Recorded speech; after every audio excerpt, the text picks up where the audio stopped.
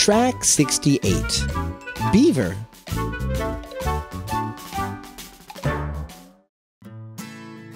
It is a beaver. It lives in Canada. It has big teeth and a big tail. It likes to build dams.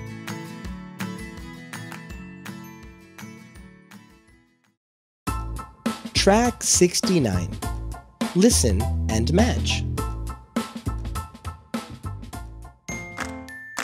It's a kangaroo. It lives in Australia.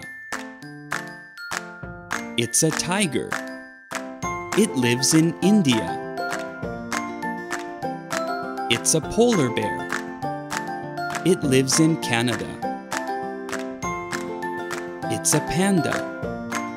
It lives in China.